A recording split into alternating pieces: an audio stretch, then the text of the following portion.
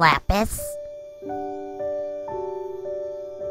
I, uh, saw you come out here and I know you need your space and stuff, but I just wanted to make sure that you weren't planning on leaving again, were you?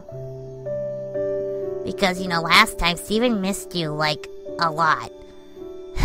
you should have seen the guy. I mean, he was a total wreck. Peridot, I.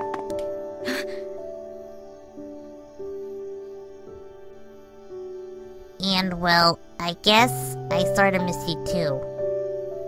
A lot. Whatever happens, I want to protect our home and our friends. Together. Together?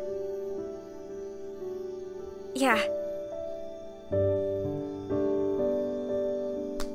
Together.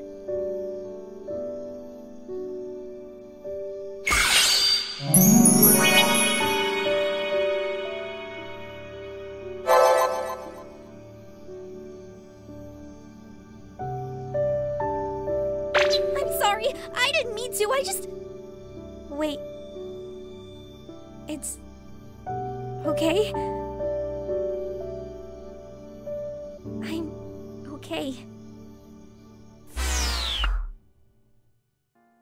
If I could begin to be half of what you think of me, I could do about anything. I could even